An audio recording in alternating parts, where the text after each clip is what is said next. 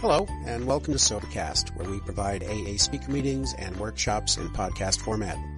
We're an ad-free podcast, and if you enjoy listening, please help us be self-supporting by visiting Sobercast.com, look for the donate link, and drop a dollar or two into our virtual basket. We hope you enjoy the podcast. Have a great day. Hi everybody, my name's Mickey and I'm an alcoholic. I'm probably an addict too. Probably. I've been told that I have to talk uh, um, slowly. Because you bloody foreigners don't understand. Yeah.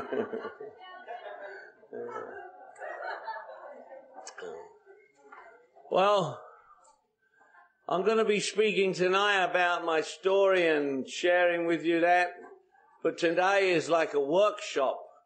It's a workshop on the first three steps. What steps one, two, and three. So, I'll be talking about the steps and about the program of recovery as outlined in the beautiful book Alcoholics Anonymous. This beautiful book, Alcoholics Anonymous. I love this book, Alcoholics Anonymous. And the steps as I try to teach the people that I work with.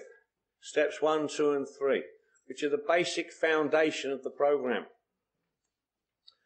In the beautiful book Alcoholics Anonymous, it starts off where it, where it says, and I'll read it to you just so that you don't think I'm making it up or giving an opinion, because I don't give opinions. I know it's popular for people to say, everything you hear from me is strictly my own opinion, or I'm just talking for me. No. I don't just talk for me. This is a we program, not a me program. And so I don't talk just for me. And if you look at the word me, M E. Dig it? M E. Me. If you then flip it over, it becomes we.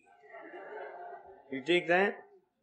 This is a we program we got here. So I'm not going to have the balls to stand up here and tell you my opinion. I wouldn't do that. Why would I do that? This is my experience, strength and hope. There's nothing in the beautiful book about opinion, strength and hope. It's experience, strength and hope. And not only that, but especially this weekend here, we've, we've seen it so much. Controversial stuff. When people like me stand up at areas like this and claim that everything you hear from me is strictly my own opinion, it's very dangerous. Because a newcomer hears an old fart like me say that I'm giving you my opinion, and then the newcomer thinks his opinion counts too.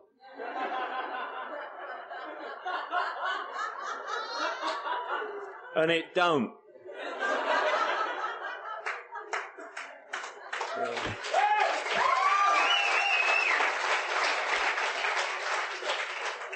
You know, in our beautiful book, Alcoholics Anonymous, I just, it says here, half measures availed us nothing. Half measures didn't avail us half or a little. Half measures availed us nothing. We stood at the turning point. We asked His protection and care with complete abandon. Abandon of self. Here are the steps we took, comma, which are suggested as a program of recovery. It's as a program of recovery that's being suggested. They did, took, worked, whatever you like about the steps, but they got them in their life. It says, if you want what we have and are willing to go to any lengths to get it, Well, what is it that we have? What is it that we have that we suggest you, if you're new, goes to any length to get? That's what it says. That's what it's about. That's what you're doing here. That's why I'm here. Stay sober, carry the message. Stay sober, carry the message. That's what the primary purpose is. So that's why I'm here. Hopefully that's why you're here. So what is it that we've got that we suggest you go to any length to get? Must be something, mustn't there? What is it? Well, here it is, and it's very precious. And if you're wondering about all this stuff that we've been hearing about, the steps, and since the steps, and the steps, and the steps, and the steps, we just had a little meeting at lunchtime, very precious little meeting, where we talked about this. What is it that we've got? Like us people that it's no longer a theory, it's a way of life. Us who have worked the steps, us that have got this program in our life, us that do this thing on a daily basis, us that live this way. What is it that we have? Like the book says, you can join us on the broad highway. See? Well, what is it? What is it we got? Well, no, it's not power.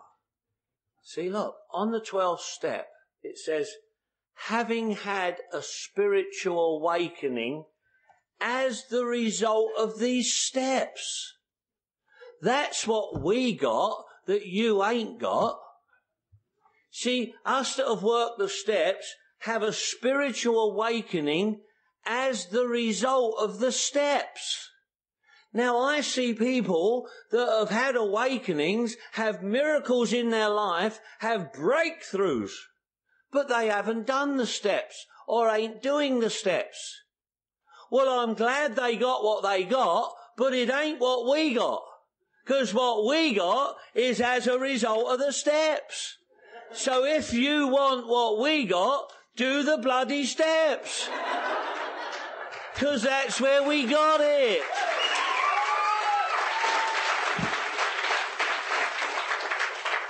So I don't care about those people who don't want to work the steps or don't agree with working the steps or if they haven't got the steps in their life. I don't care what they want. I want what you got. That's what I did when I came here. I'm glad that I learnt two things when I first got to Alcoholics Anonymous. One of the things I learnt was that you never wanted a bloody thing I had, and I wanted and needed everything you had. And the second thing was that I wasn't the same as you. I wasn't the same as you. I wasn't equal to you. How could I be equal to you? You didn't want nothing I want, I had, and you, I wanted everything you had. How could I be equal to you? If I was equal to you, what I had would have been equal to yours. And I was dying, and you were living in the sunlight of the Spirit. I, I mean, I wasn't equal to you. Maybe in God's eyes we were all equal. Maybe spiritually we were all equal. And so I tell the troops in my house, I tell the guys in my house, if you think that, if you think, well, in God's eyes we're all equal, well, on the way home today, if you're walking home and you see a bush and it's burning and it's talking to you, then stand there and listen to it. But if that don't happen, listen to Mickey Bush and I'll tell you what this says.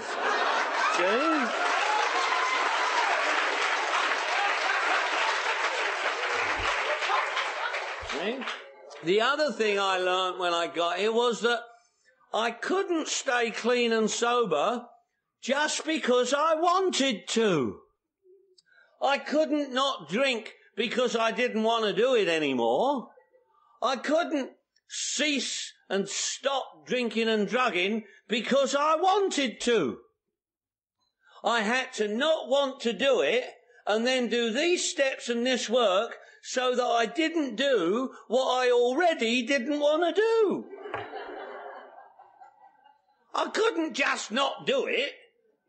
I had to do these steps and this work so that I didn't do it. If I could have just said no, we'd have a different ball game going here, wouldn't we? Just say no. I don't even know where that comes from. Just say no. I will drink and drug no matter what. No, I won't. Just say no to a full blown alcoholic like me. Just say no. It's like telling that homeless dude out there on the street, hey, homeless dude, just get a house.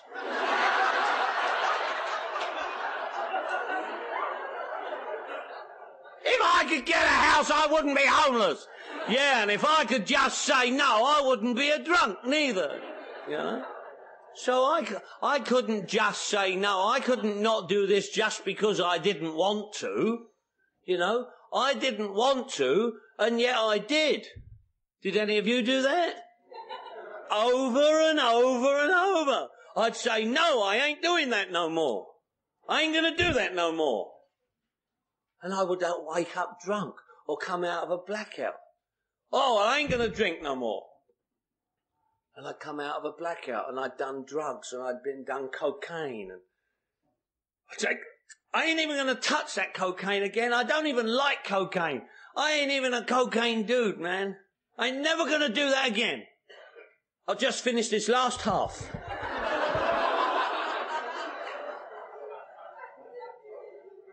And then 28 last halves later, you know. So I had an illness. I had something wrong with me, like the book says. Like when Bill and Bob are doing the third man on the bed and, and they say, you are an alcoholic. It's in the book, folks. I'm not making this up. You know, we say, you can't tell anybody they're alcoholic. I don't know where that comes from. That ain't in the book. It don't say we don't tell folk they're alcoholic. It says we'd rather not or we prefer not to. A totally different thing. See? I, I needed you because I couldn't self-diagnose this disease. I know people say that. I call it lip flapping party line bullshit. you know? How could I self-diagnose a disease that I'm powerless over and tells me I ain't got it? How could I do that? I couldn't do that. What am I going to stand there and argue with it? I'm an alcoholic. No, you're not. Yes, I am. No, no, you're not. No, you're not. Oh, yes, I am.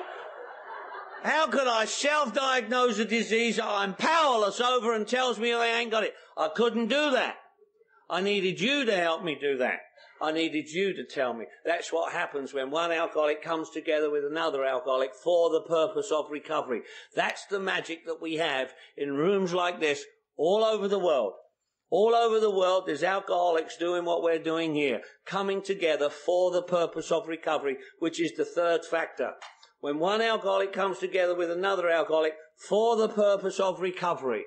And that's why, if you think that hanging out with alcoholics or just coming to meetings is going to be enough for you, you're nuts if you think coming into a meeting and putting your butt in a chair that you're going to get this thing through osmosis, it ain't going to happen. You think you're going to put your butt in a chair and it's going to come up through the hole in your ass? You're nuts. It ain't going to happen. See, hanging out with alcoholics ain't what happens. If that was what was all there was to it, we could go down any skid row in any town, in any country in the world and hang out with drunks. Drunks have always hung out together. There ain't no big deal about that. But what we got is for the purpose of recovery. That's what we got that those folk out there haven't got and that those folk out there don't understand. That's why we come and the magic of one alcoholic relating to another alcoholic for the purpose of recovery is what we have that they don't have out there. And you know what? They don't understand. Those folk out there, they don't understand. Good, well-meaning people don't understand. My own mum don't understand. My own mum loves me dearly. She lives in northwest London. I go home to see her at least once a year. I've been four times this year in London, England. I live in the United States, Los Angeles, but I go home to see my mum. I, I walk in my mum's house, knock on my mum's door. Mum, I'm 18 years sober. She says, so is the cat.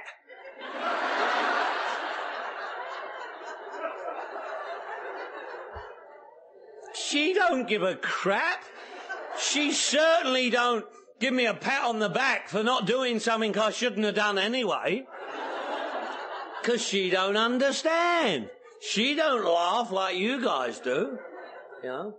So we come here to do what we know. And what our beautiful book says is that if you be alcoholic of our kind, alcoholics of our kind.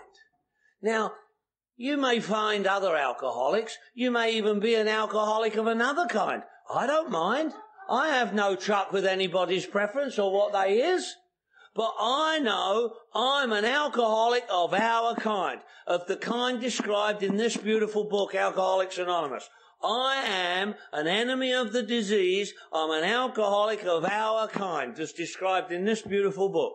That's what I am. Now, if you is an alcoholic of our kind, great, welcome. If you're not an alcoholic of our kind, hey, have a party.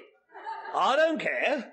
Doesn't make any difference to me. If you got something, teach me, show me, tell me, let me learn from you. I'll give you what we got, share with me what you got. If it's as equal, I'll take it from you too.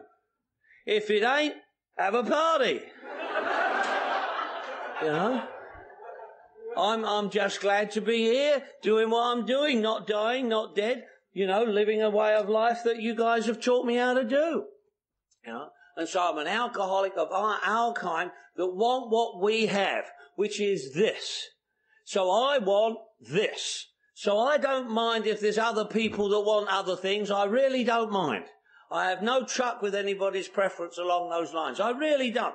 And, but I want what we have. And what we have here, when, when we talk to people, when we, um, work with new folk, um, If you want what we have, well, what do we have? We have a way of living, a way out that we can absolutely agree upon. The book says so. We have a way out that we can absolutely agree upon. And the book even says, with this attitude, you cannot fail. That's pretty good, like guarantee, don't you think? You would buy an appliance or a car or something that was absolutely guaranteed with this you cannot fail. Wouldn't you do that? Well, that's what I want too. That's what I got here too. So, what is it? When, when a newcomer comes and says like, well, what shall I do? If you're honest, we say we set out on a rigorous course of action and we work these steps. Well, that's what we got. We got a program. Now, I'm going to break it down, but I'm going to ask you um, to, to play Stump the Drunk with me. Let's play Stump the Drunk. You know, this is a workshop. So if you have a question, it, uh, raise your hand or come to the microphone and ask the question. It's a workshop. That's the benefits of a workshop as opposed to a meeting. It's a workshop where you can ask things that may be troubling you. Okay? So raise your hand or come here. We'll have a little break. Well, are we going to do about an hour and a half, something like that? We'll have a little break. I don't know what time we started, but uh, we'll have a little break here. And uh, I got, uh, what time is it now? 1.30? So, all right. What time did we start? 10 minutes? All right, so we'll have a little, maybe not, maybe not. Anyway, I'll see. But play Stump the Drunk with me. Try and stretch me. Try and give me something back because I got to get something out of this too. You can't just suck off me and leech off me. You gotta, you gotta like let me get something too. So we gotta stretch me and, and, and help me. So play stump the drunk with me. You know, and if you got a problem, I'll do my best to answer it. And if I don't know the answer, I'll lie and tell you that I do. You know.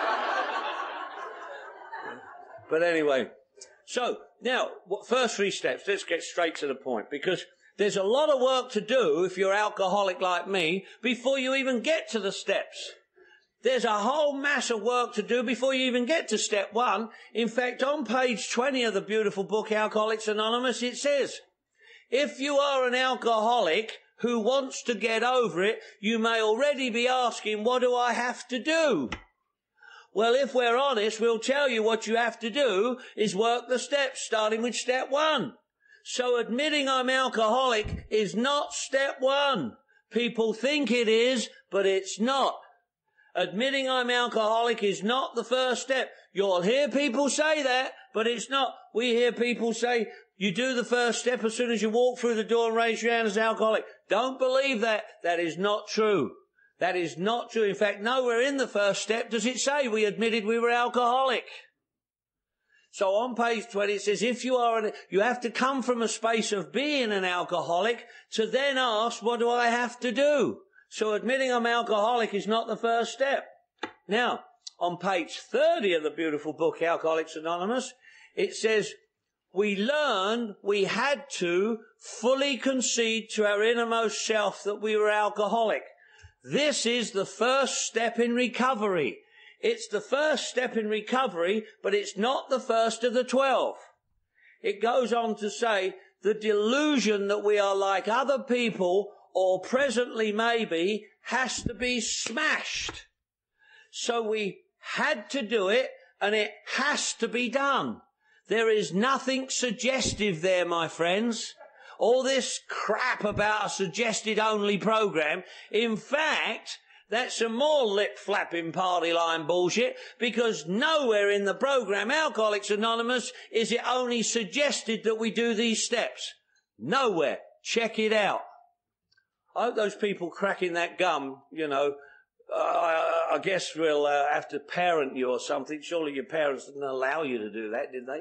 Poor little orphan people cracking gum in front of people, yeah good manners, you know. Anyway, uh, well, it's just it's just respect for the program. Would you do that in front of like your employer or the court judge or something? Sit there cracking gum in front of people. Anyway, where was I? What was I saying? So we learned we had to fully concede to our innermost self that we were alcoholic. This is the first step in recovery. Now there is a total difference and it says we learn we had to fully concede to my innermost self that we were alcoholic. This is the first step in recovery. Well, if it's the first step in recovery, I want to know what it is. What is it? I ask folk, they don't know. And if it's the first step in recovery, I want we learn we had to fully concede to our innermost self that we're alcoholic. There is nothing suggestive there. We had to do it. So what is it? What is it? What is it about me that makes me alcoholic? I hear people say they're alcoholic. I say, what is it about you that makes you alcoholic? You know what? They don't know. They can say they is one. They can say what they do because they're one. They can talk about the alcoholic addictive behavior, but they don't know what it is about them that makes them alcoholic. Well, that's a crying shame. How can I fully concede to my innermost self that I am if I don't even know what it is about me that makes me what I am? And you know what? There's not enough people like me telling enough people like you what the real deal is all about. And to fully concede is totally different to admit, accept and surrender. We, people talk about admittance, acceptance and surrender as if it's the deal, but it ain't the deal, folks. Admittance, acceptance and surrender isn't the deal. It sounds like the deal. People talk about it as if it's the deal, but it's not the deal. Admittance, acceptance and surrender is not the deal fully concede to your innermost self that you are is the deal, and then admit, accept and surrender to that. But if you're trying to admit, accept and surrender without having fully conceded to your innermost self that you are, you're screwed and it won't work. What's the difference? People don't know. Well, let's go over it, shall we? In the beautiful book Alcoholics Anonymous, on the very first page, page one, which is Bill's story, it starts off War fever ran high in the New England town to which us new young officers from Plattsburgh were assigned. It goes on to say, I arrived in England, I visited Winchester Cathedral, and it goes on to say at the bottom of the pages, um, a veteran of foreign wars, I returned at last. 22 and a veteran of foreign wars, I returned at last. Bill is talking about the First World War. The World War, the First World War, 1914-18 World War, where Kaiser Wilhelm was going to take over the world and he was rampaging through Europe and, and, and other places and, and he was going to take over the world. Well, guess what? He upset them big bad boys in the US of A. And the big bad boys from the US of A came over to Europe. You may remember those Yankee Doodle Dandy and over here and the, the Americans came over to Europe and kicked the German army's ass. Beat the living tar out of them. And that German army were defeated. That German army were defeated. They admitted that defeat. They accepted that defeat and they surrendered to the American advance forces. Saved our bacon. We're glad you did. Well, guess what?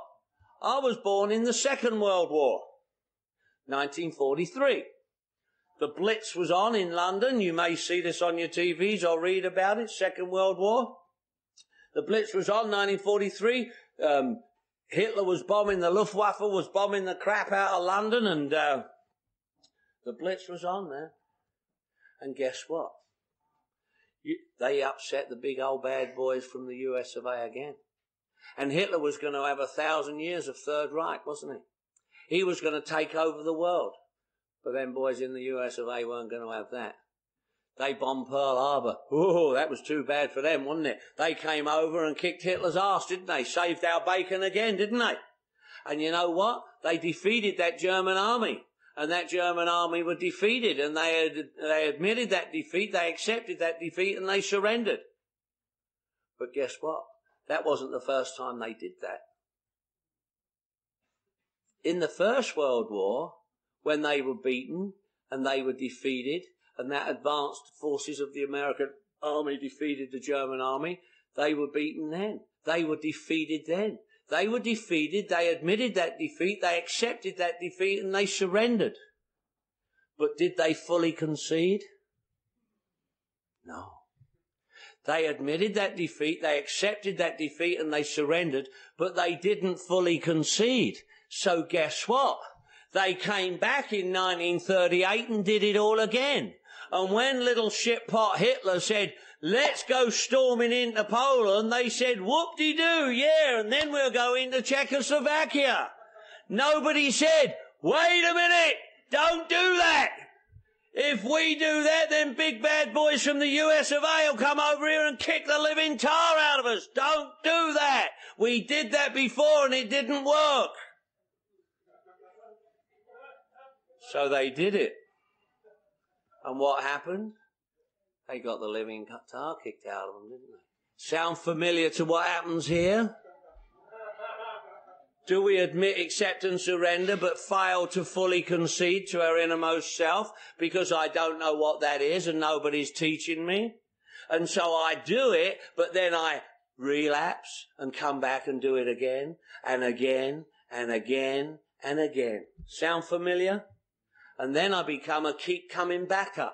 Instead of a sticker and a stayer, I literally become a keep coming backer and I come here, I get sober, I relapse, I go back out and I come back. I get sober, I relapse and come back. I get sober, I relapse and come back. And so I'm in a vicious circle going round and round. And the disease has got me set up in a pattern of repetition so that I can't break the cycle. And I'm doomed. If that's what you want, have a party. That ain't what works. So, what am I going to do? Fully concede to my innermost self. I got to learn how to do this. I don't already know it. So what is the first step? Well, we admitted we were powerless over alcohol, that our lives had become unmanageable. Hmm. What is that? What does that mean? I don't know what that means. We admitted we were powerless over alcohol. Wow. Well, if I'm an alcoholic, I'm powerless over alcohol. What does it mean? What is it about me that makes me alcoholic? Well, people say I can't control my drinking. Well, that's true. If you're alcoholic, you can't control your drinking. Well, once I start, I can't stop. Well, that's true. Alcoholics who start drinking can't stop. We've got a phenomenon of craving. We'll talk about that later. Well, one's too many and a thousand ain't enough. Well, we know that about it. That's knowledge and information. But what is it about me that makes me alcoholic? Do I know? Has anybody ever taught me? Have I ever asked? What is it about me that makes me alcoholic? Not what do I do because I'm alcoholic. In one of my houses, I've got two bar- budgerigars or parakeets. Parakeets. A blue one and a green one. We call them Bill and Bob, as after our co-founders, Bill and Bob. And I've trained them to speak. These parakeets speak in a limey accent, by the way. They speak, and you can stand by the cage and they'll go, I'm an alcoholic, I'm an addict, I'm an alcoholic, I'm an addict.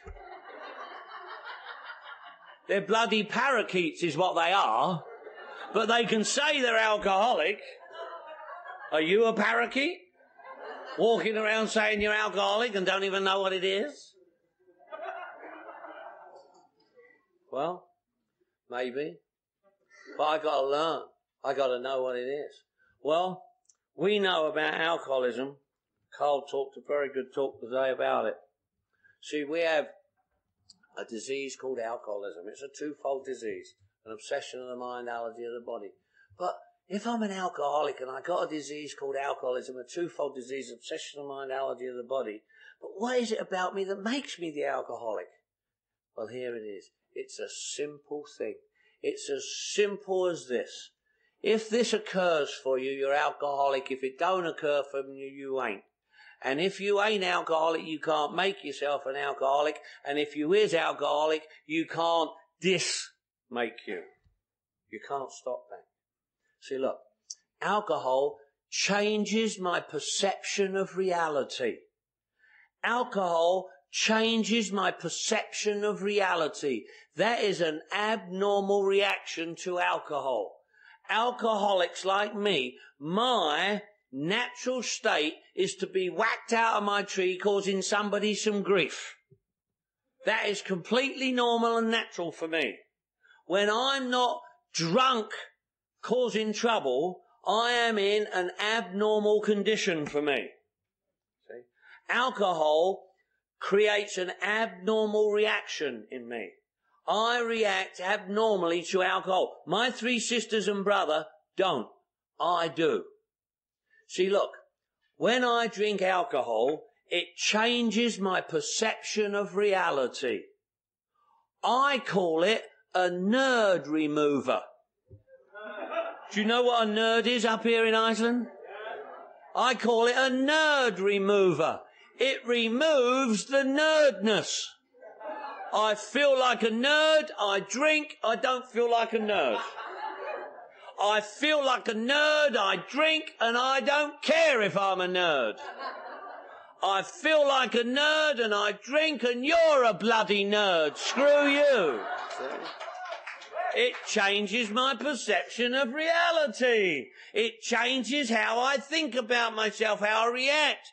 When I drink alcohol, like Carl referred to the doctor's opinion this morning, I like the effect produced by alcohol. It changes my perception of reality. We got a girl in my home group, Mary. She's a delicate little dude, dudette. And, uh, and, and she's just always been taken advantage of and what have you, but she's a real alcoholic. She describes it as well as I've ever heard anybody describe alcohol. She says that when she drinks, she feels wittier, prettier, and tittier. she don't feel like a little delicate dudette. Boom! She's a star, man. And I know exactly what she means. You know? Like when I got to Alcoholics Anonymous and they told me, you're an alcoholic. I went, what do you mean? They said, if it looks like a duck and walks like a duck and sounds like a duck and smells like a duck, it's a bloody duck. Just because he's been taking some shit and thinks he's an eagle, no, you're a duck. You're a duck, I'm a duck. Quack, quack, he said. But you know, I didn't fully understand, but I knew what he meant because alcohol did that. When I felt like a duck, I drank and boom, became an eagle and went swooping around looking for prey. That's what alcohol done for me because I couldn't stand who I was and I didn't know this was going on. I didn't know that this was going. All the years I was drinking, I didn't know this. It wasn't something I was conscious about. I know you guys seem to know because I hear you guys sharing about it at meetings. I hear you guys telling us why you drank. I hear you guys saying that why you drank. You seem to know. I never knew. I never knew why I drank. I never had a clue why I drank. We always drank. We drank if the team won. We drank if the team lost. And if it was a tie, we drank till there was a result. I don't know why we did that. We just always did. But you guys know why you did it because I hear you share. I hear you say, well, I drank because I couldn't stand the pain. I drank because I was covering up my feelings. I drank because I was hiding behind who I was. And I think at what stage of the game did you discover that? I can't even imagine that. I can't imagine going into a pub and saying, Oh, bartender, Hit me with a triple shot of your best booze, because I can't stand who I am and I want to cover up the pain tonight. You know? it never happened. Oh, Mr. Dealer man, can I have an extra rock? Because I really feel inadequate. Never happened. I didn't know this, but that was what was happening. And you know what?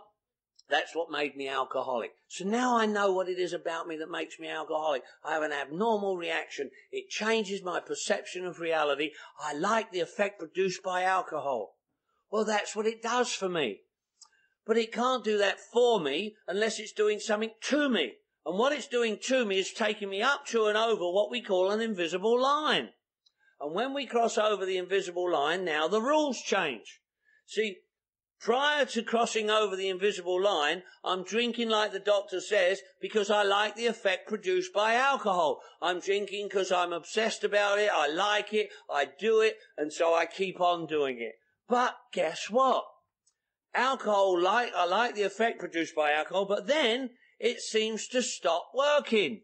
Why? Because I've gone up to and over what we call the invisible line. Now you can't go over the invisible line unless you're alcoholic. And unless you're alcoholic, you can't go over the invisible line. Now that's weird, isn't it?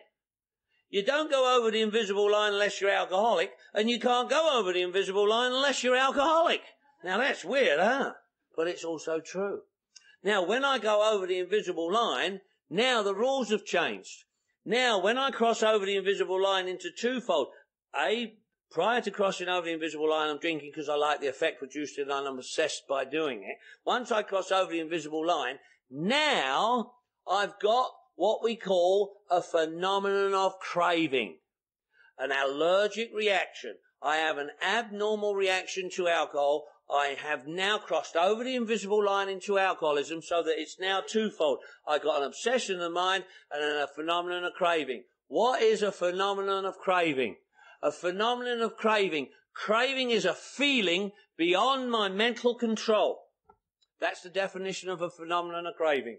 I've got an obsession of the mind to do it, and once I do it, I can't stop doing it because of the phenomenon of craving. An obsession is a thought to the exclusion of all else, including recovery, which is a totally different obsession to normal obsessive things like relationships and other things. The obsession for the alcoholic where alcohol is concerned is to the exclusion of all else, including his safety, his liberty, his children, whatever else is in his life. When the obsession strikes him, when he gets sucked in by the obsession, the obsession takes away his ability to say no, so that then he has to say yes, so that when he does say yes, he thinks he chose to or wanted to, and he didn't. See? Now that's something of the stuff that we got to learn to understand. I got an obsession of the mind to do it, and once I do it, the phenomenon of craving won't allow me to not do it. So the obsession sucks me in, takes away my ability to say no, so that then I have to drink. Once I drink, the phenomenon of craving kicks in, so that I have to continue to drink. So I got a body that mustn't do it and a mind that won't let me not do it. Can you dig that? So I can't stop from doing it, and once I'm doing it, I can't stop doing it. Does anybody remember this? Yeah, no shit. Yeah. Twofold disease. Okay, so what am I going to do? What am I going to do? It stopped working. What do you mean it stopped working? I still get drunk, I shoot up dope, and I still nod off or whatever. It's still working. That's not what we're talking about. We're not talking about the effect the alcohol and drug has on you. We're talking about what it, how it works for the alcoholic, the abnormal reaction. We like the abnormal reaction because it takes me, it changes my perception of reality. When I feel like a duck, I drink and turn into an eagle. Okay, you're noted. Hold on. When I turn into an eagle, all of a sudden, I've, I've liked that, and so now I've stopped. The, the alcohol is no longer working for me. Now I'm drinking and I'm staying a duck. Now I'm getting drunk and falling in the gutter and getting sores and ending up in detox and I'm not becoming an eagle anymore. And I can't stop doing it.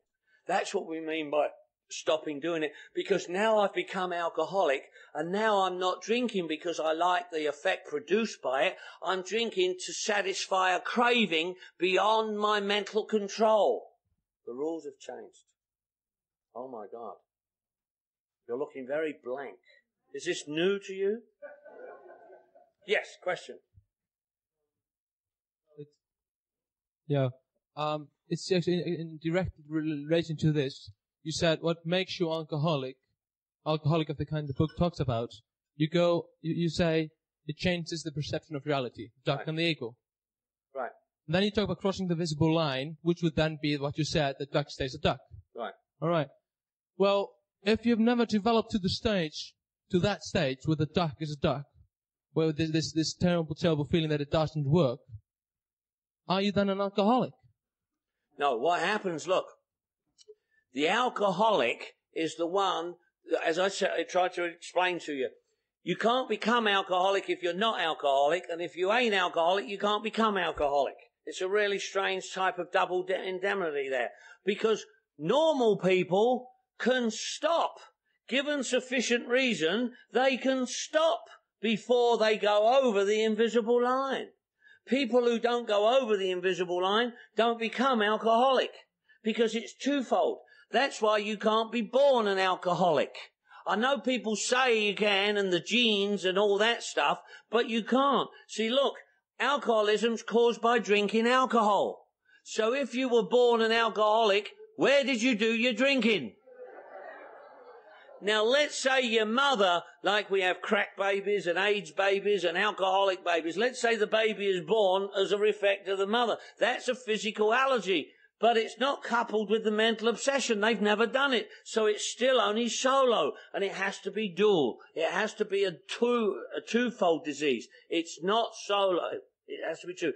Carl talked today about strawberries. I got a friend of mine who's allergic to abalone. You know what abalone is?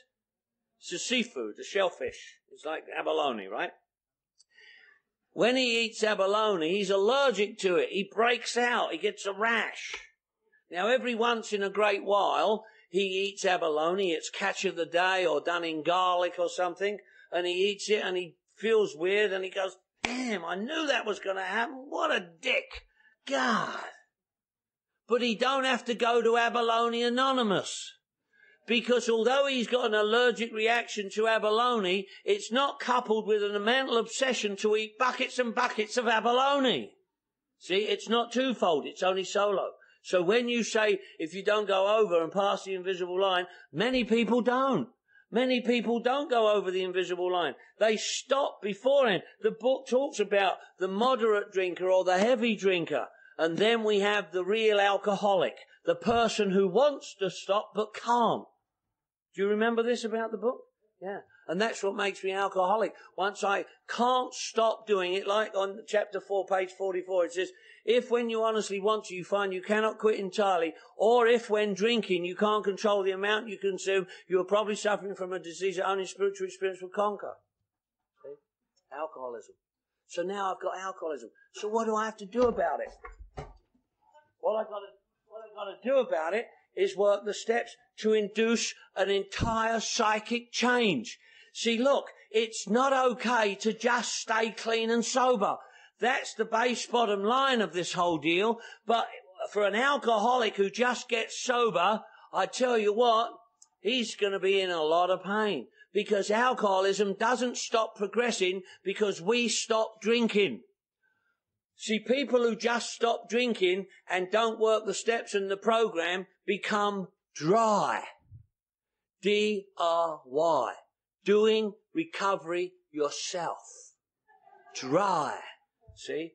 Alcoholics that just stop drinking are in a very dangerous mode. Sober people drink again. People living in sobriety don't. That's why, see, alcoholics must have one of two things. We must have. It's not open to debate. It's not open to a discussion. It's not my opinion, your opinion, what you think, what I think. No. Alco- you can go anywhere and check what I'm about to tell you. Alcoholics must have one of two things. We must have alcohol or program. We have to have one of those two things because it's the only two things that treat the disease of alcoholism. And I've got a disease. I've got an illness. I've got something wrong with me. I've got something that needs treating. I've got something that I've got to recover from. I can't just stop doing it. If you break your leg, you don't say, well, I just won't walk on it. You know, and I got a broke brain. So I can't just say I just won't use it. I can't just say I'm going to stop doing it because we got a progressive disease. The disease doesn't stop progressing because we stop drinking. We got to stop drinking and then replace the alcohol and drugs with something else that works. And the only thing that we found that works for the majority of alcoholics of our kind is the 12 step spiritual program of Alcoholics Anonymous. That's what works for the majority over the long haul. Now we know there's exceptions to the rule, but we're not talking about the exceptions to the rule. We're, t- we're talking about our common welfare and what works for the majority of us over the long haul. And that's the 12 step spiritual program of Alcoholics Anonymous because it has to, we have to find something to replace that what alcohol did for me. Bear in mind, going back, we like the effect produced by alcohol. Why do we like the effect produced by alcohol? Because of all that turmoil and inside stuff that we couldn't stand, when we drank, we didn't feel it. Now all of a sudden, alcohol isn't cleaning that up for me. So I stopped doing the alcohol. Well, guess what? All that stuff starts coming back up. And now I got nothing to push it back down with, like the alcohol and drugs. And that stuff comes up, all that turmoil and stuff. And it comes up and up and up. Well, before I used to drink and drug and push it down and down and down. But now it's coming up and up and up, and I ain't got no alcohol to push it down. And it comes up and up and up, and it gets me and it screws me like that. And I got nothing to push it down with, because I'm not drinking. That's why we need the program of Alcoholics Anonymous to replace for us what alcohol and drug does. You know? And if I don't do the program, well then I won't get anything to satisfy that and it will drive me insane to such a degree that I will drink again because the pain of the familiar will become preferable to the pain of the unknown. Because I can't stand being sober. Just a fact. Doesn't matter whether you like it or not. No one cares whether you like it. No one cares. No one cares whether you think it's fair. No one cares whether you like it. In Russia, anybody speak Russian? In Russia, they call it Tufsky Shitsky. No one cares. No one cares how you feel. We don't care how you feel compared to what you do. Compared to what you do, no one cares how you feel. We care about what you do, not how you feel about doing it. Okay? We got to act better than we feel if you're alcoholic. Now, what is that? What are we going to do next? Then? Step one. Let's go to step one. We admitted we were powerless over alcohol, that our lives had become unmanageable. Step one. I never knew what that meant. I asked you guys, what does it mean to be powerless? Guess what, folks? You don't know. I asked a lot today. Didn't know. Thought you knew, said you knew, felt you knew. Didn't know. Because I asked you, give it to me. Give me, explain it to me. What does it mean to be powerless? Well, I can't control my drinking. Uh-uh. It don't mean control. If it was about control, we would have written control. You see control anywhere in the first step? Uh-uh. What does it mean? I am powerless. I am powerless over alcohol. Alcohol. Not people, places and things. Not everything that you want to throw in the melt, melting pot. I'm powerless over alcohol. Now, if I tell you I'm powerless over alcohol, I have to also admit and, and recognize that I'm powerless over it, but it's not powerless over me. I'm powerless over it, but it's not powerless over me. I can't beat alcohol, but alcohol can and does beat me. I can't resist its demands and it can make me do what I already don't want to do. Drink it. So I got to recognize that I'm in a place where now I, I don't want to do it and I can't not do it. Why? Because I'm powerless. Well, holy shit, what does that mean? Well, think about it. We have a spiritual malady. We have a spiritual malady which most people think is part of the disease, but it's not.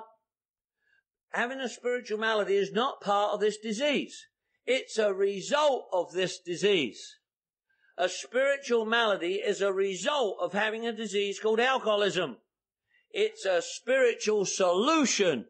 Be, uh, being, uh, having a spiritual malady is not part of the disease, it's a result of having the disease. And it's a, a spiritual solution, not a spiritual problem as a, as a result of having this disease, along the path of life, the disease we got has gotten me to abandon God and spirituality so that I end up with none. Powerless. Whoa. What does that mean? In the beautiful book on page 55, it says, deep down in every man, woman and child is there's a fundamental, fundamental basic understanding of a power greater than themselves. Call it whatever you like.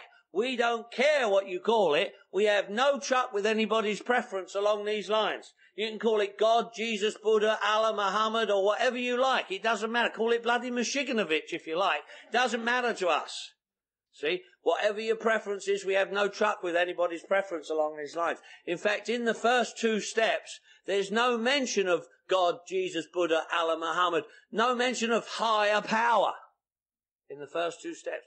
We have all this confusion about the God stuff and all the religion stuff and all that. There's no need for it. It's not even mentioned in the first two steps. But powerless. Well, what does that mean? Well, think about it. I'm powerless over alcohol. So right there, I'm describing the fact that there's a power greater than me. Alcohol.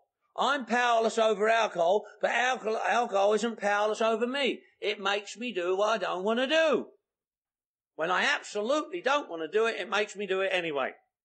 Powerless. Well, what is the source and what is the power over everything? Anybody?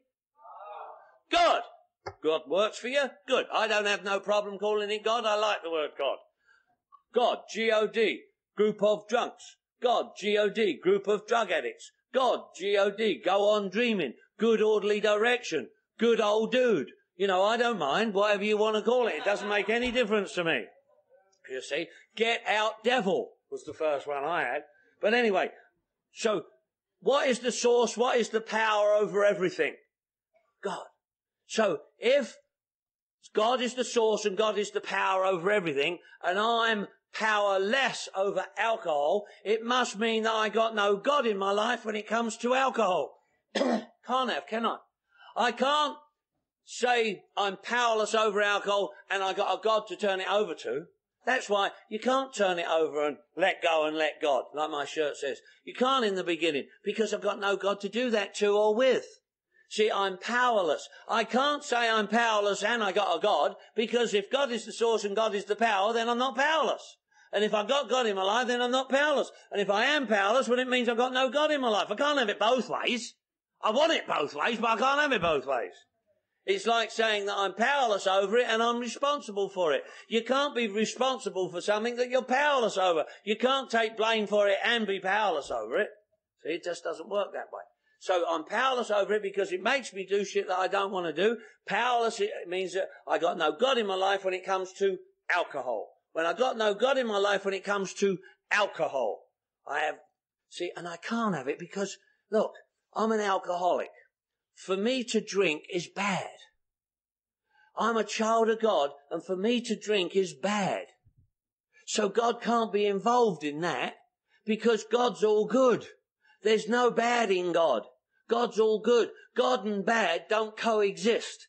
And me to drink is bad. So I can't say it's God's will for me because, you know, it's bad. And so I can't claim that that's God's will because God's not involved in something that's bad. Powerless. I have no power. And God is the source and God is the power over my life. Well, guess what? I'm powerless over alcohol because the disease I got along the path of life since I was, I was raised in a religion. I wasn't always powerless. I had a God and an understanding, but the disease I got got me to abandon God and spirituality and ignore it so that I ended up with none. Powerless. Well, guess what? If I'm powerless, the solution, power. I gotta get some power. Well, guess what? No mention in the program Alcoholics Anonymous of hitting bottom. And you know what? That's one of the main reasons that 95% of us are not making it. Because we don't truly understand what hitting bottom is as we think we do. See, hitting bottom is the process necessary to bring the power into my life as far as alcohol is concerned, and it's not mentioned in the program Alcoholics Anonymous. Check it out. I spoke to some people this morning with long, long time sobriety, and they didn't even realize that hitting bottom wasn't mentioned in the program of Alcoholics Anonymous. Strange, isn't it? Now, if we're not, if, if hitting bottom is the process that brings the power in, and I don't even know what it is, no wonder 95% of us are not making it. Now, when I talk about hitting bottom, most folk have no idea what that is. They think they do, but they actually don't. I ask folk, what is your bottom? Describe it. Give me your bottom. You'd be amazed at what you guys tell me. Some of the things you guys tell me about your bottom. You say things like, well, I was, you know, feet to the curb, hustling the Broadway, trying to earn a dollar. I was broke, busted, disgusted, and not to be trusted. I was locked up in a penitentiary, married to Bubba. You know. Nothing to do with hitting bottom. I was in a detox. I'd been thrown out of my house. I had no money. The kids were took off of me. I was separated. Nothing to do with hitting bottom. We think it is, but it ain't. See, all that stuff is outside circumstances and conditions, not hitting bottom. See, we say things collectively in a group. Everybody's bottom's different. It better not be different. Everybody's bottom better be the same.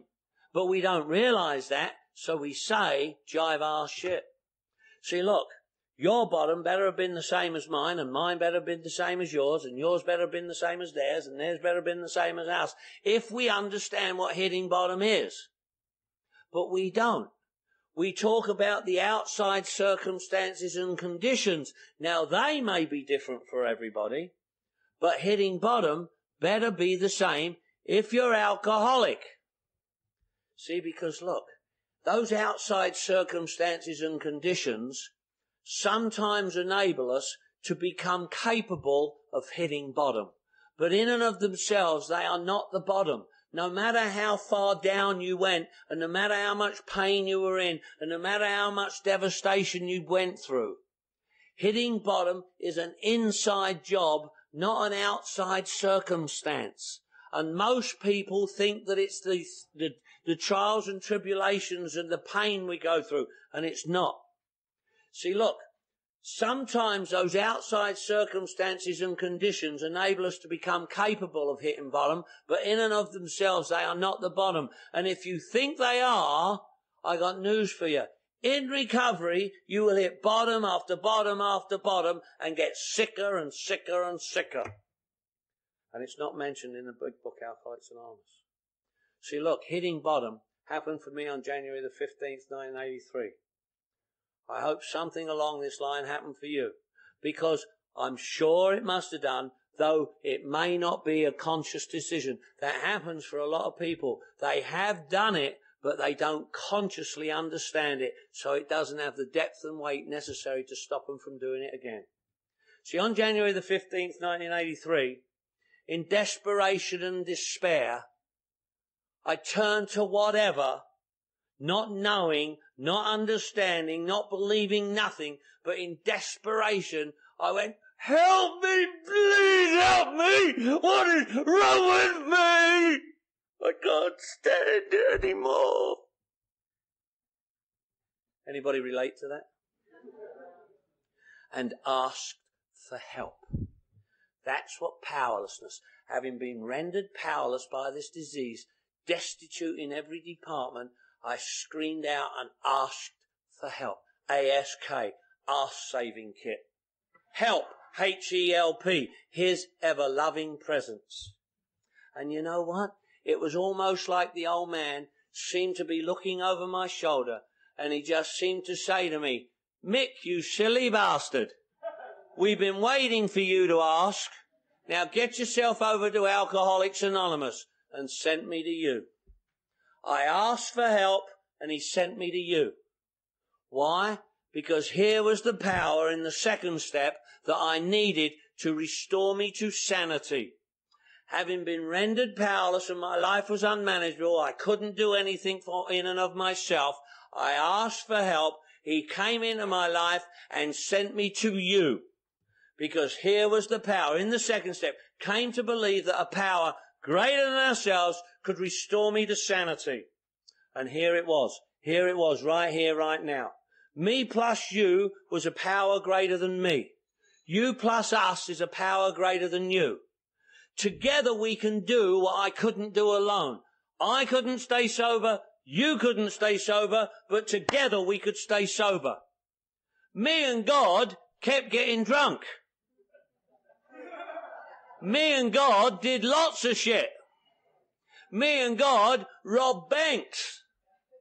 In fact, that was the only time I used to talk to God when I was doing something wrong. I'd be running in a bank with a gun and I'd say, please God, let everything go okay. me and God got drunk. Me, you and God stayed sober. Here was the power. One on one. When one alcoholic comes together with another alcoholic for the purpose of recovery, God comes in our midst and produces a power greater than either of us. So it's produced by us, but it's greater than us, and we can absolutely depend upon it. We never wrote that.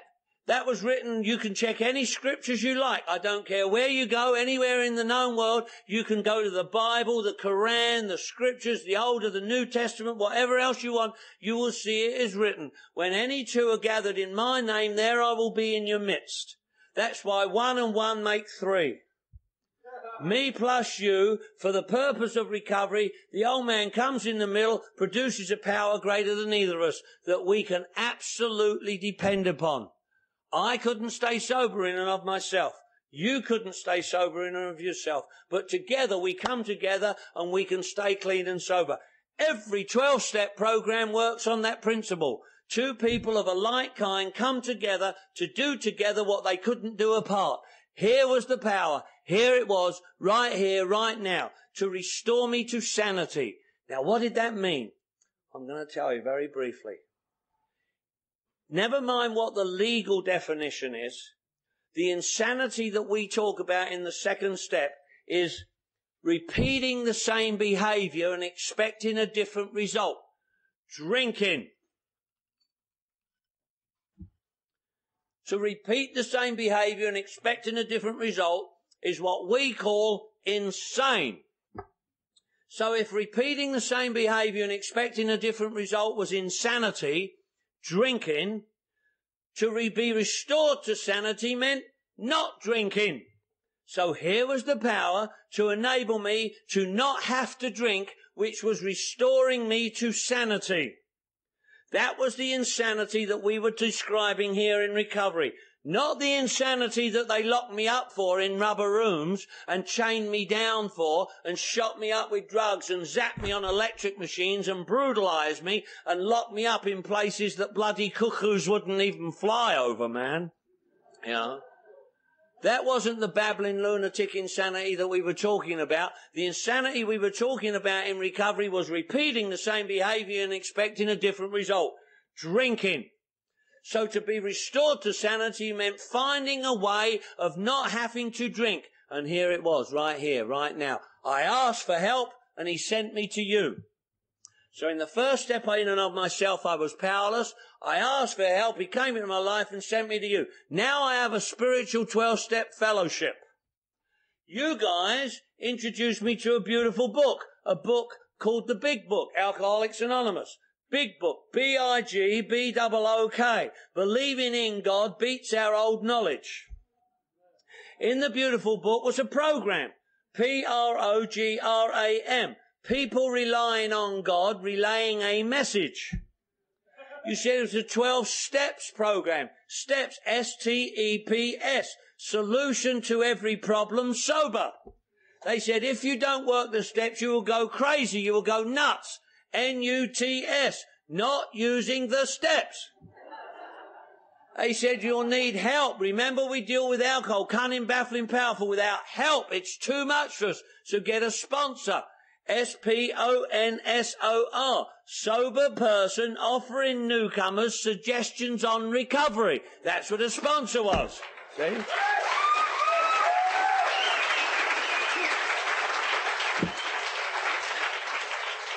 Today I have sponsorees, people I sponsor. So let's recap. Wait a minute.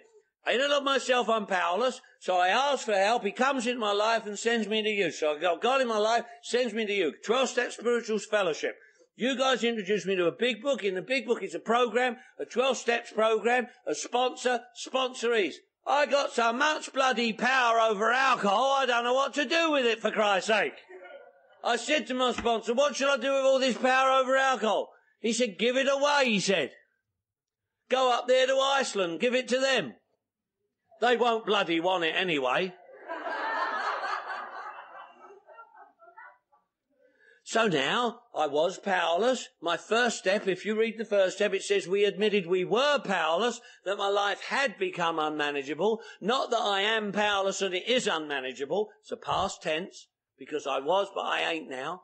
So all right. So in the 12 and 12, it says we have warped our minds in such an obs- su- obsession by such an obsession for destructive drinking that only an act of providence can remove it from us. We have warped our minds.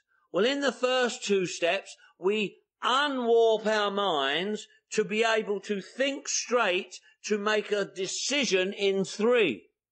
Remember the third step. Made a decision to turn my will and my life over to the care of God as I've understood God. Understood is a past tense word. It's a past tense word because the understanding comes from one and two. See, made a decision to turn my will and my life over to the care of God as I've understood God. Well, in one and two, I've got an understanding because I'm no longer drunk and I've unwarped my mind. More has been revealed to me. Wow. So I can make a decision. I can't make a straight decision with a warped mind. I can't build a straight building with warped timber. I gotta unwarp my mind. But because most people don't do one and two correctly, they stay with a warped mind and make a decision with a warped mind that is screwed up. And so consequently, it's only a matter of time before they relapse. So we have to unwarp our minds to make a straight decision in three. Make a decision to turn my will and my life over to the care of God. Now I made a mistake in three, thinking that it said, turn my life over to God. Well, the book did say that, but the step didn't. The step said, turn my will and my life over to the care of God. The book said, turn my life over to God. But we had to work the steps. Now, so I turned my life over to God, and guess what? He turned it right back. He said, I don't want it. I gave it to you. Why are you giving it back to me? went, oh. My, I got a white Jaguar sports car. It's a 12 cylinder white Jaguar sports car. I'm English for Christ's sake. Why wouldn't I? I'm in America. I got a white Jaguar sports car. I love my Jaguar sports car. The license plate on it is AA12. Went, oh. My, I got a white Jaguar sports car. It's a 12 cylinder white Jaguar sports car. I'm English for Christ's sake. Why wouldn't I? I'm in America. I got a white, it's an English limey piece of shit is what it is. And it breaks down. And when it breaks down, I take it back to the mechanic and put it in the care of the mechanic for fixing and repair. But I don't give the bugger my car. It's my car. I have to pay for it and fix it, but I put it in the hands of the mechanic for fixing and repair. I put it in the care of the mechanic, same as my will and my life. My life to God, I, where I got it from, put it in His care for fixing and repair. See, because I've learnt that. Now, what is my will and my life? I ask you guys, you guys don't know. You think you do, but you can't tell me what it is. Well, I gotta know. So that's why we come and do these workshops. My will is my thinking, my life is my actions. But it can't be just today. All we got is today. All we got is today, one day at a time. Yeah, well, what a load of crap that is. You know, I can't live in the now because I'm carrying around all this guilt, shame and remorse from yesterday. But I gotta live in the now, but I can't because I got guilt, shame and remorse from yesterday. And I gotta live in the now, but I can't live in the now because I got fear, worry and anxiety about tomorrow. Whoa, I can't live in the now because of guilt, shame, remorse from yesterday, and I can't live in the now because of fear, worry, and anxiety about tomorrow. So I got to turn my will and my life over to the care of God as I've understood God, which means my will is my thinking, my life is my actions. But not just now, it has to be threefold. Everything I have done, am doing, and will do, past, present, and future, so that I can live in the now. My actions are different to what I wish I'd done, my thinking. So I have to turn my past, present and future thinking as well, which is everything I wish I'd done, would like to be doing and hope I'll do threefold so that I can live in the now. Because I can't live in the now, but I gotta live in the now. N-O-W, because there's no other way. Why? Because I'm new. N-E-W. Nothing else worked. You see? So I gotta learn this stuff. I've got to learn to make a decision. So I'm to come here. I'm to say to you guys, teach me, show me, help me, show me what to do, help me how to do it, teach me what to do, which is my thinking. And here's my body. Tell me, show me, help me what to do, and I will do what you tell me, which is my actions. So my will and my life here, I'm giving it to you so that I can stay sober. Because here is the power sufficient to enable me to not have to drink and drug today. Here it is right now. And there's the first three steps very basically. I couldn't do it. He can do it. So let him. That's all it really means. I can't. He can. So let him. And, th- and you know what? If you're new around here, I have absolute faith that it'll work for you. That's because this is what works. Here is what we got that works. It works for us all. It don't matter whether you're atheist, whether you're agnostic, whether you're tall, whether you're short, whether you're man, whether you're woman, whether you're black, whether you're white, whether you're ugly, whether you're good looking. You know, it don't matter. It works for us all if we do it because it's a program of action. It works if we do it. It don't matter whether you do it willingly or not. Do it unwillingly as far as we're concerned. It matters that you do it. It's a program of action. In the book it says, if you want what we got, wow, then these are the steps we took. Well, it's an action. These are the action steps because there's nothing to get here.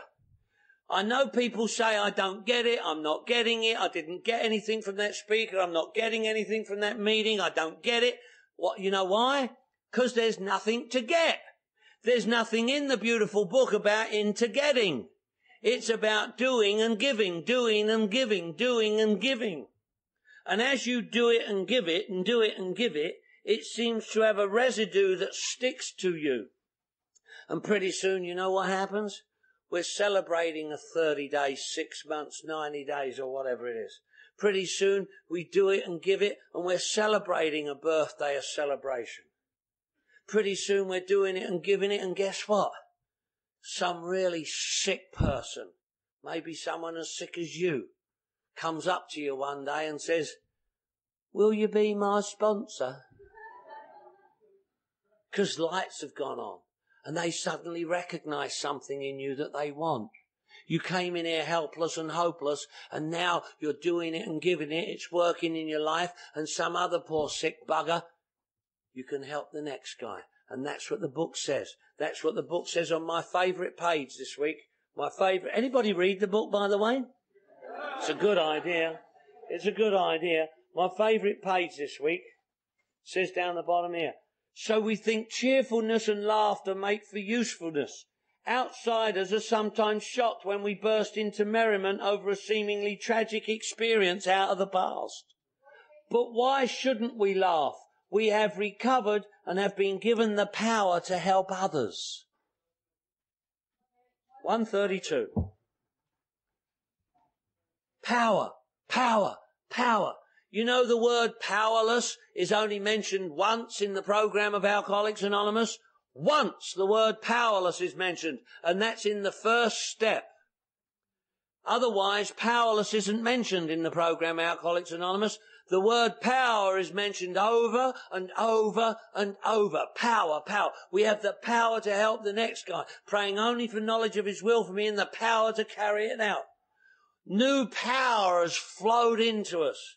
Powerless? Why would I walk around here saying I'm powerless for heaven's sake? I don't do that. Why would I do that? When alcoholics in Alcoholics Anonymous walk around saying I'm powerless, powerless over everything. To me, it's the disease getting you to deny the power that's in your life. Why would you do that? I don't do that. I make a conscious contact with the power like you taught me to every single day. Every single day. I make a conscious contact like the beautiful book says. See? Why would I say I'm powerless when I got so much power? Think about it. I got so much power over alcohol, I don't know what to do with it. Now, if you think I'm saying that with all this power, if I take a drink of alcohol, I'll have power over it, you're nuts. I ain't saying that at all. But what I am saying is that by working these steps and being here with you, I have the power to not have to pick up the drink in the first place. And if I got it, you got it. He didn't give it to me and not you. Why would he do that? He gives it all to us equally. We're all his kids and he gives us all to us equally. But I can't afford to give him the finger by taking a mind altering chemical. In the beautiful book on page 86, it says, our thought life will be on a much higher plane, for after all, God gave us brains to use. Well, if He gave me a brain to use, He gave me the brain He wants me to have. If He gave me the brain He wants me to have, He gave you the brain He wants you to have. He didn't give me and not you, or you and not me. Well, if He gave me the brain He wants me to have, I got to have some big balls, haven't I, to give Him the finger. Now, I don't know I'm giving Him the finger, but what would you call it? See, if he gave me a brain that he wants me to have, and I take a mind altering chemical, isn't that like saying, well, God, it's all right. Look, thanks for everything, but that brain you gave me, don't think you did a very good job with me. I think I could change that. I think I could do a better job myself. So I'm going to take a mind altering substance to change and alter that mind you gave me. So you're number one with me. What else would you call it? Can't get any recovery giving God the finger by taking a mind altering chemical of any kind.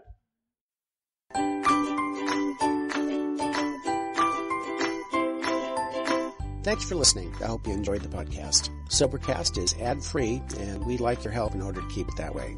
So if you'd like to help us be self supporting by pledging a dollar to a month, visit Sobercast.com and look for the donate links. Thank you very much.